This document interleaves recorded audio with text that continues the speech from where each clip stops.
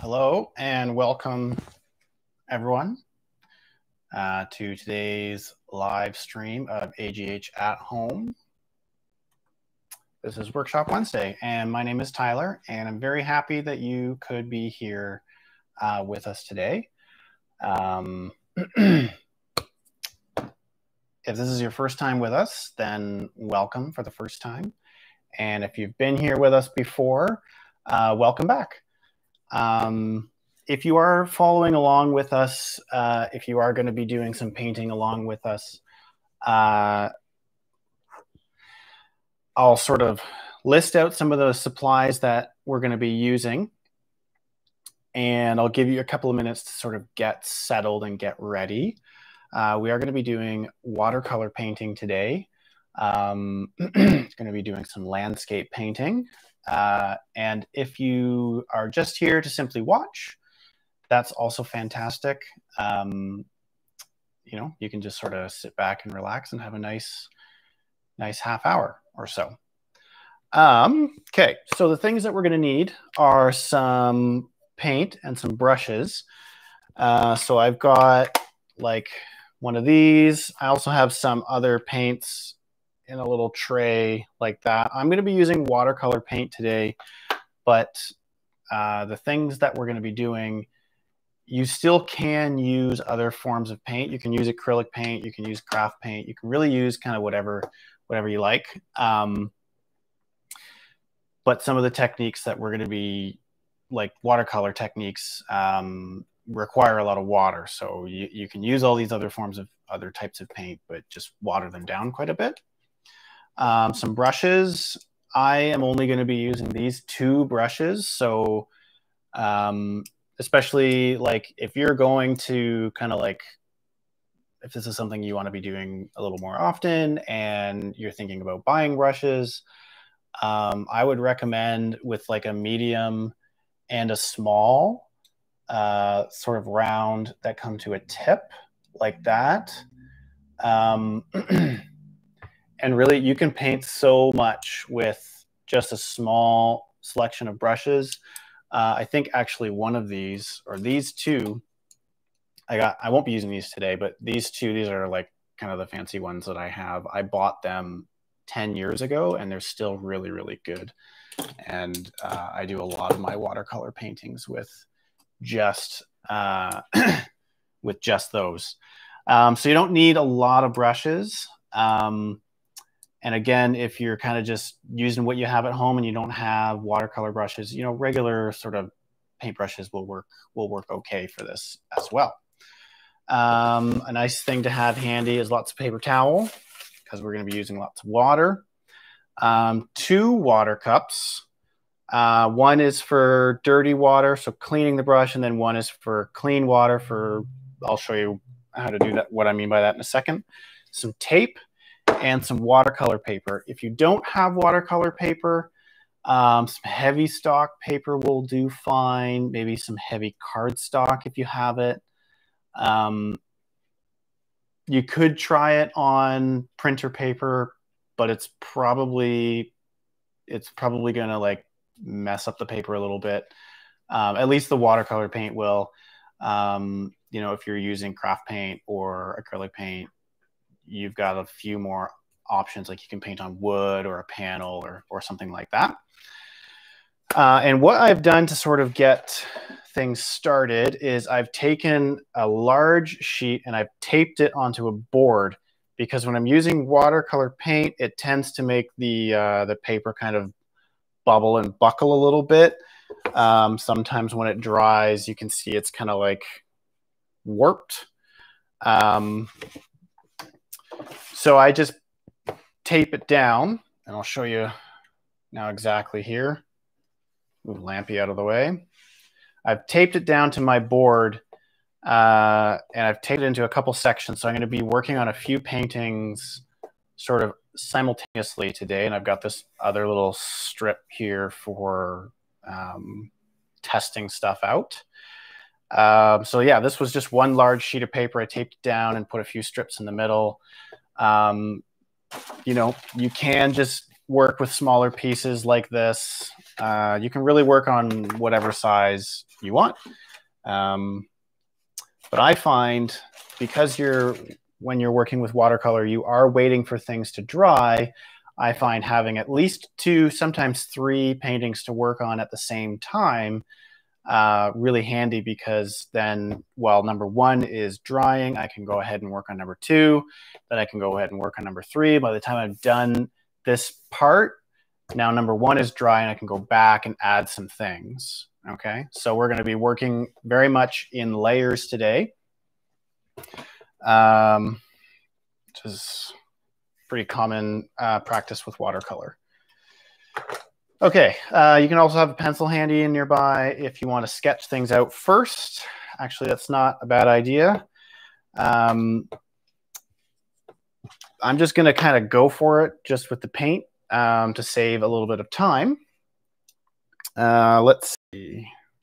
So one of the paintings that we're going to look at is going to sort of, you know, our kind of more traditional landscapey kind of thing. Uh, that's here. And then another one is a little more sort of silhouette kind of thing. Uh, so we've got like one kind of sky background color, and then we're using a dark, uh, a dark color as well. Uh, and then I'm also going to uh, look at kind of blending, blending sky colors to make really, really nice washes uh, like that. Here's another one. This one's got a little more detail in it with the clouds and such, but uh, get the kind of idea. So we're looking at making really, really atmospheric uh, paintings. I'm to keep these handy nearby so that I can see them. Okay, so on panel number one, I'm going to start. This is going to be my number one. Um, I'm going to start with uh, what's called a wet into wet technique. And I'm going to do a nice big wash over the whole thing. So with my nice big brush, I'm going to get uh, some clean water, and I'm going to put kind of a thin layer of water on there. I'm going to go right down to about there or so. You could go all the way to the bottom if you wanted, but I'm going to stop there um, and leave that area dry. All right, so you don't want too much water on it. You just want it to kind of be, you know, a little bit shiny and glossy and wet and slick and ready to go.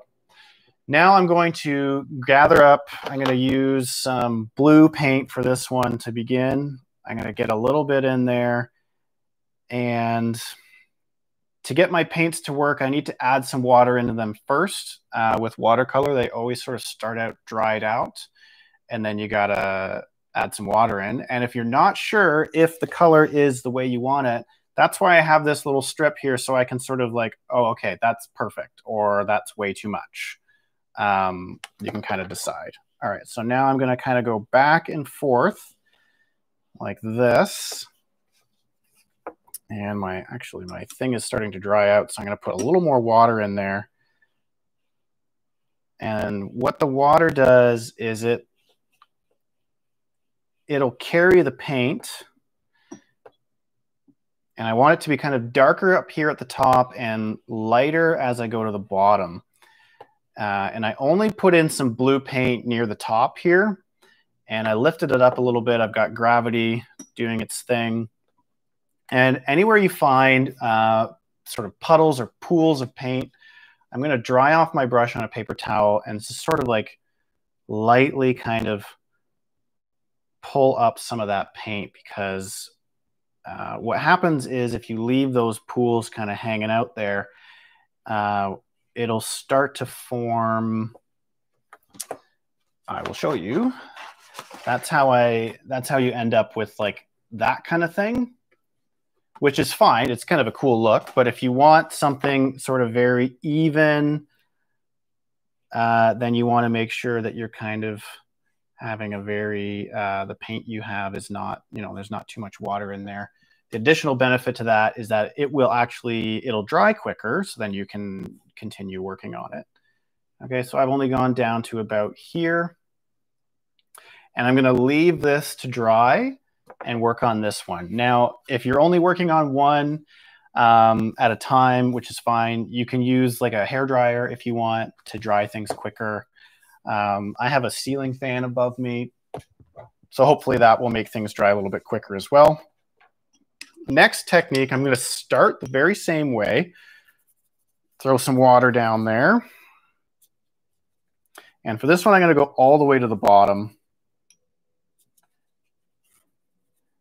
And a nice sort of thin, thin layer of water. And again, I want to put emphasis on thin because if I put too much water on there, it's going to just, everything's just going to sort of spread and, and go everywhere and go all, all out of control. All right, so for the top, I'm going to start with my red. And my red is a little bit kind of cooler. It's kind of on the magenta side of things. And I'm going to start very much the same way, doing nice, like kind of overlapping strokes all the way down to maybe about there. And then I'm going to grab some yellow and I'm going to start with my yellow on this side. And I'm going to work my way back this way. And what I'm aiming for is a nice kind of gradient, uh, a blend between these two. Okay. And if I want my yellow to be a little more intense, maybe I'll put a little more yellow up there. I don't know how much more intense that looks on the camera, but it looks, looks good here. And then you can see my red paint is starting to go a little rogue. So I'm going to clean my brush, uh, dry it a little bit, not too much. And I'm going to, yeah, just kind of spread that out. Your, your watercolor brush uh, is going to act a little bit like a sponge. And I want to have some clean water in between there. And now I have a nice kind of fade from a nice rich kind of pink and red. Maybe I'll add a little more in there.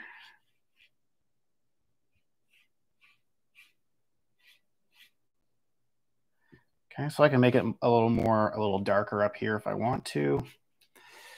I want to make it too dark, so I'm going to wash it out a little bit. All right, so now you can see exactly what's happening with the water. So I'm going to use my brush to kind of scoop some of that up.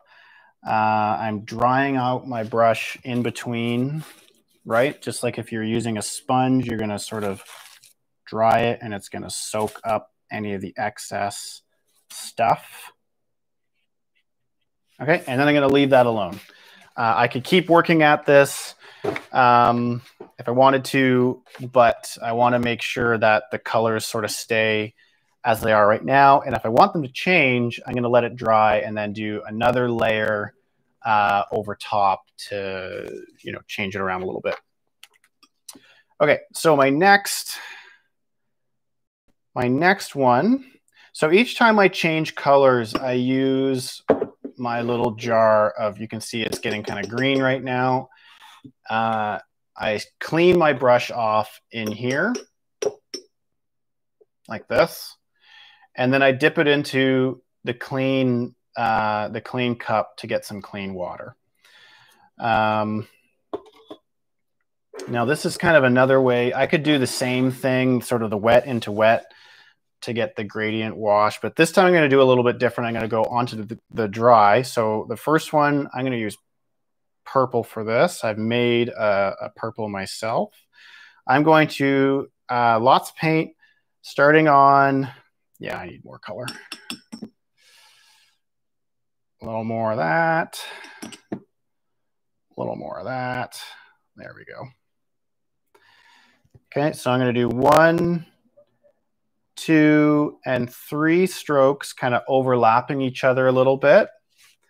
And then I'm going to rinse off my brush and get a little bit of clean water. And with the clean water, I'm going to keep overlapping. So one, two, and three. I'm going to do that again. One, two, three. One, two, three. And now over here, it's all uh, it's all kind of washed out. All right. So that's still not as dark as I want it to be. So I'm going to put a little more in there. Get it a little bit darker.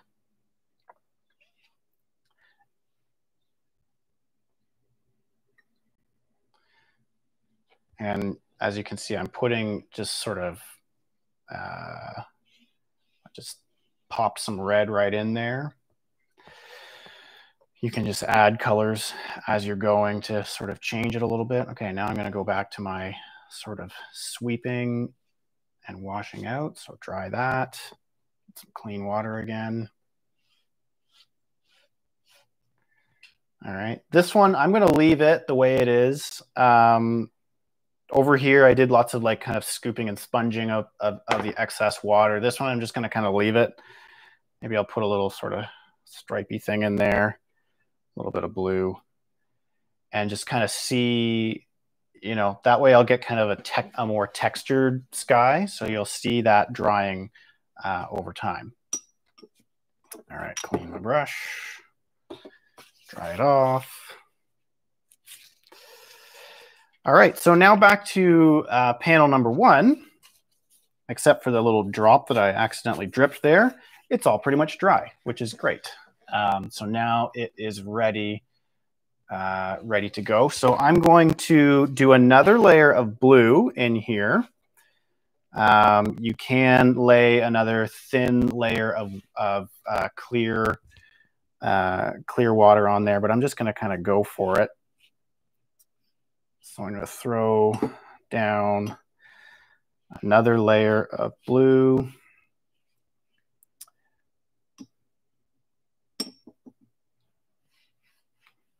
Okay, and I want it to get a little bit lighter as we're going. So this is intensifying the blue. I'm doing it sort of layer by layer.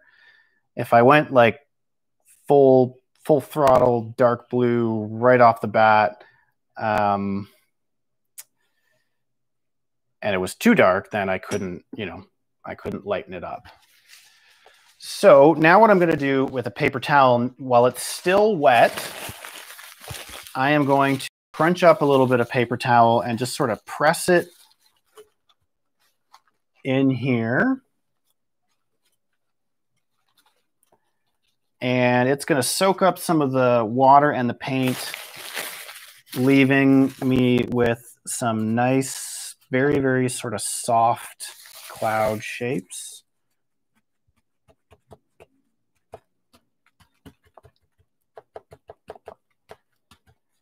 And the nice thing about using this is that it also gives you, it's very, very light. So I'll try to hold it up. It gives you um, a nice texture because your paper towel has uh, the texture to it.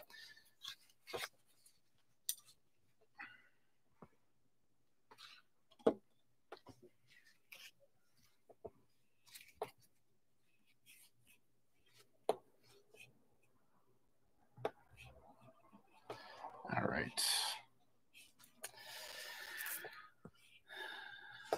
All right, so I'm going to let this one dry, and then I'm going to move on to this one now. Uh, let's see. Are we dry? Yeah, we're dry. We're good and dry. Okay, so now I'm going to start adding in uh, a bit of a like a mountain or kind of a horizon line. I'm going to do this one kind of in the middle here. So I'm going to take some of this red. Maybe I'll make a new spot here. I'm going to dip a little bit of sort of purple in there and maybe a little bit of brown. And I want to water that color down. Oops, that was the wrong one. Okay. I'm going to test it there. That's a little on the pink side for me. Uh, I do like pink, but I want it to stand out from the sky, right? So I want it to be a little more sort of brown or sort of purple. There we go. And I want this to be slightly sort of watered down. And let's see, let's start. I'm not going to start right in the very, very middle. I'm going to kind of go a little bit down there. I'm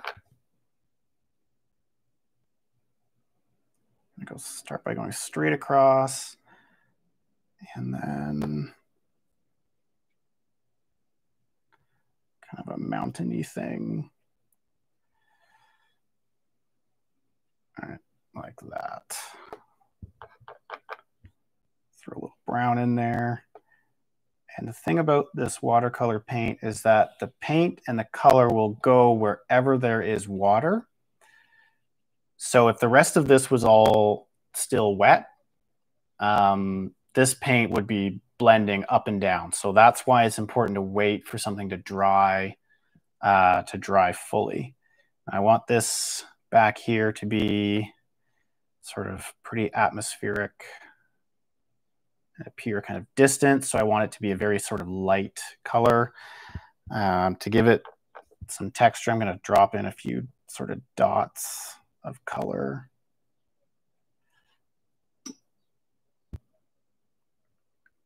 A little bit of orange, which doesn't really appear to be orange because it's just blending all right away. Okay, and there's a few little pools in there that we tried to avoid in some spots, but I'm going to leave them uh, as they are right now.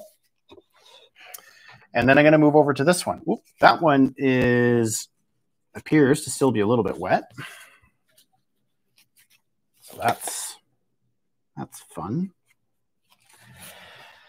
And this one, I've got a horizon line over here that's very, very low. This one's kind of in the middle. And this one I'm going to do, uh, I'm going to start closer to the top. So on this side, this one here is going to be mostly all this sort of purpley indigo color. Um, and I'm going to make a little bit more of that. My blue and my red. Now I'm going to do a similar form to what I have over here. Um, and this is going to be very much sort of the background. So uh, I want this to be very, um, very simple. a little bit of blue in there. Okay, so that's kind of my mountain shape. And then I'm this this color, I'm going to carry it all the way down. So I'm going to dig right in there, get lots and lots of paint, and I'm going to sort of just not worrying about, you know, if things are like getting a nice gradation, like if they're fading, I'm just kind of filling filling in this area.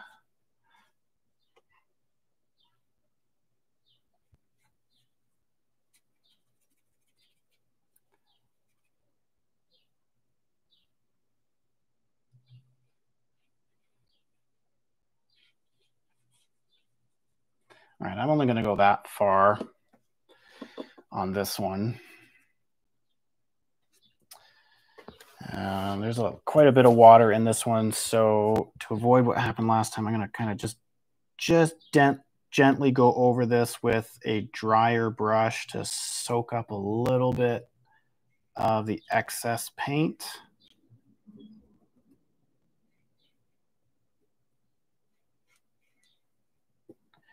Again, that'll make it kind of dry a little bit quicker. Okay, so now back to number one. So you can see I'm kind of going in a bit of a pattern, right? So I finished up this step. I don't know if you can see that or not very well. There, hold up. So you can see I made, it's a very, very subtle kind of line there. All right, so I started, I finished up uh, this stage, this one's drying, and now I'm back to this one here.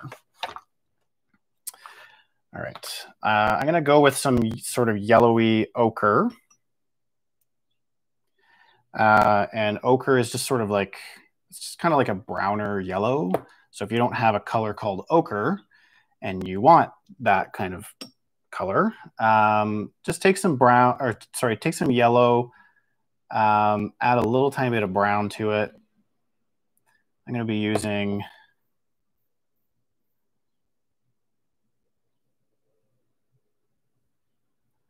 a little bit of yellow and a little bit of ochre.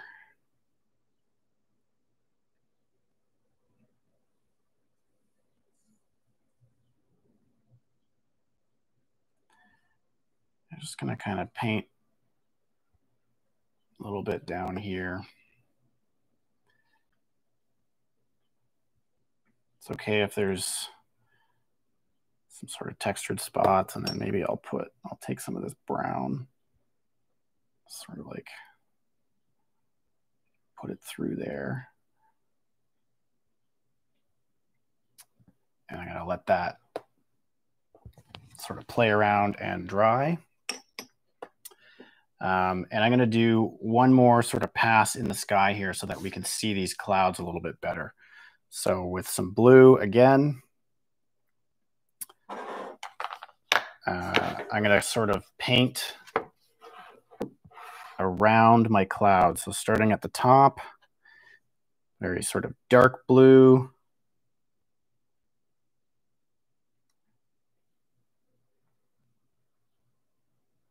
And I can, you know, if I want to, I can change the shape of my cloud at this point.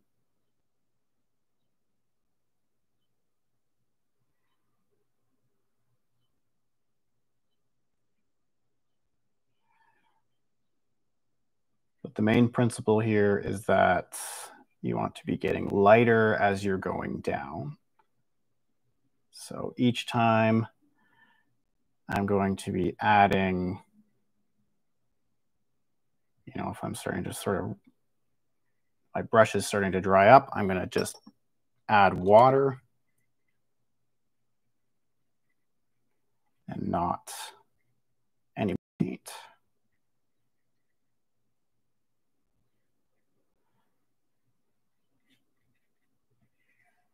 Oops, there's a little thing in there. And then I'm going to kind of sweep that down until, until there's nothing left.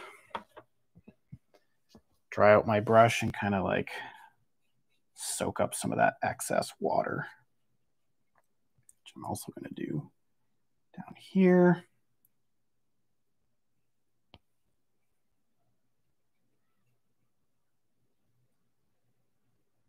I'll come back to this one and do some sort of finishing touches on there. Okay, so you can see now my clouds are sticking out a little bit more than they were before. And back to number two. So we got a little bit of a wet area in here, which is fine. I'm just going to sort of gently dry that up.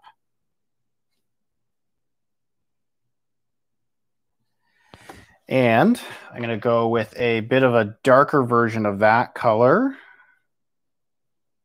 sort of a purpley brown.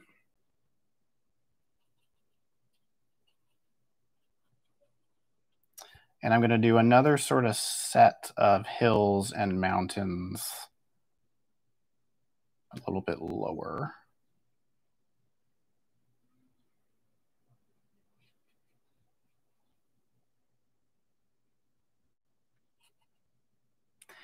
And this one, these, I want these to be much darker. Not much, but darker than that, like very clearly darker. It's a little too brown for my liking.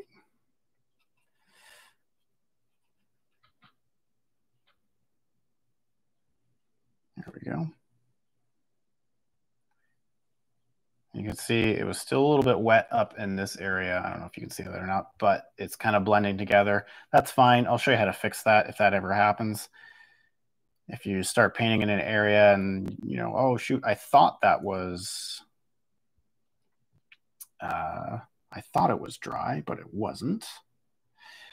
Uh, and then what I'm going to do down here is kind of do, take the, the paint that I have and just kind of scrape it across, dry, drying my brush and drying it again and getting this kind of dry brush technique going. This gives you kind of a textured look. Um, so I'm laying down some of this color, but the yellow from underneath is still kind of showing, showing through. Okay, and now on to this one. Uh, let's get some of that purple back.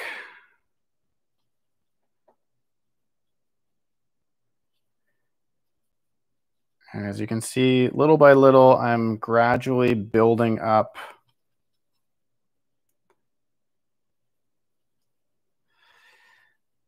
sort of a darker thing. And this one I'm going to do.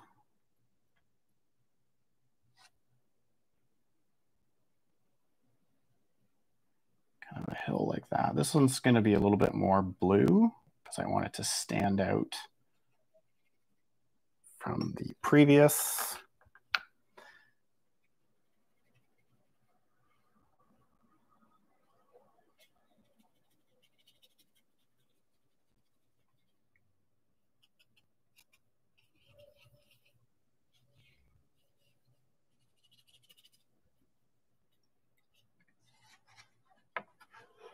Okay, so you can see that. And I'm going to do one more layer to this one in a little bit.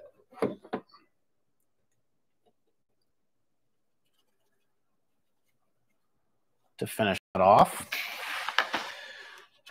All right, so now I'm going to kind of go go through and do some quick finishing touches here. Um, for this one, I'm going to put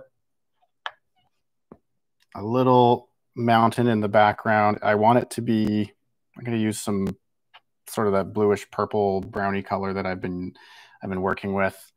Um, I want it to be very, very light because the mountains are very far off in the distance. Looks like all my pictures have mountains. Apparently I like mountains. Okay. And while I'm here, I'm going to, with my sort of smaller brush, I'm going to grab out some brown, a little bit of blue and red and stuff, and then maybe kind of like paint in some some trees or something like that. Lines going through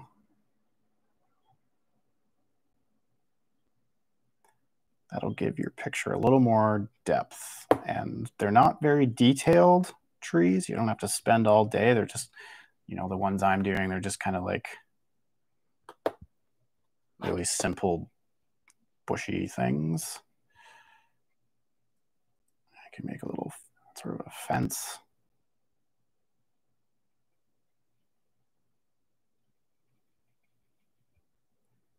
A little more over here. All right, and I think that first one looks pretty good to me. I think it's uh, it's uh, it's pretty done. Uh, this one over here, maybe I'll just add a little more sort of detail in the bottom here. So this is kind of looking a little bit maybe kind of like a lake.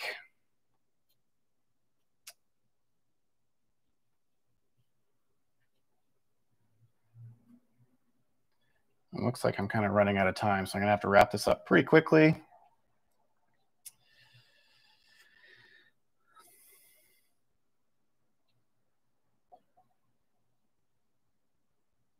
Maybe what I'll do is I'll put a little something here, like a little island.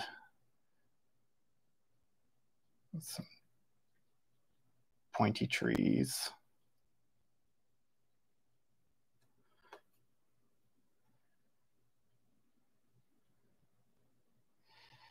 some happy little trees, as as Bob would say. There we go. And onto this one, let's just finish this up real quick. I'm going to go with a really, really dark blue. Notice how I haven't used black for any of these. Um, you know what? I am going to use black. I don't have black in this palette, but I have black in this one. So why not? Let's let's do that. So that way we can have a really sharp looking finish. I'm going to paint on a little something here.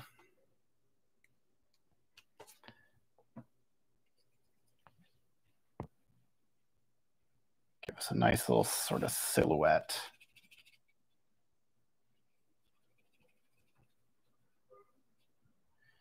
And uh, maybe there's like a little hut.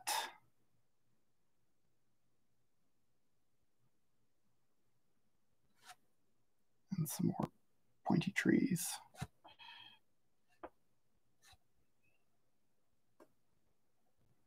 Okay, so see, you know, with these trees, I'm just doing really, really small, gentle, you know, not not detailed at all. And that is it for today. You can see our three paintings. I've got horizon lines all in kind of very different spots. Um, the neat thing about taping this is that now that you're done, you're going to have to let it dry. So I'm not going to pull the tape off over here, but these two should be okay. Uh, when you peel the tape off, you get this nice, clean line separating your paintings. And I tell you, you spend all that time working on your painting and then and then you get to peel the tape off and it's uh makes the process like it's like a I don't know. It's just a really nice finish. Like I said, I'm going to leave that one there. Because that's still drying. But, and there we have it.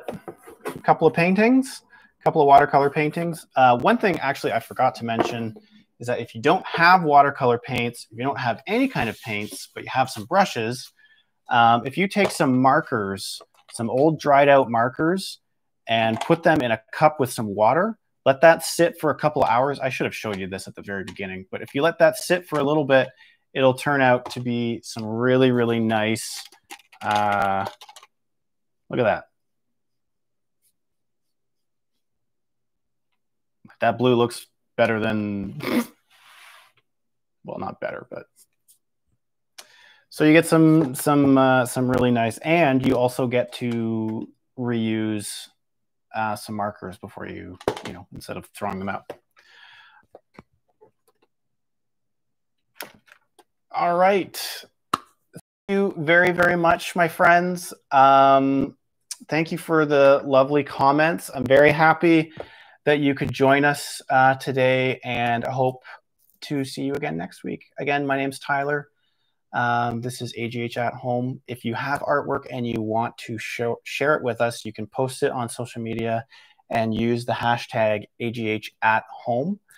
Um, and then we'll be able to sort of share it out with, uh, show it to all of our friends. All right. Thanks a lot, folks.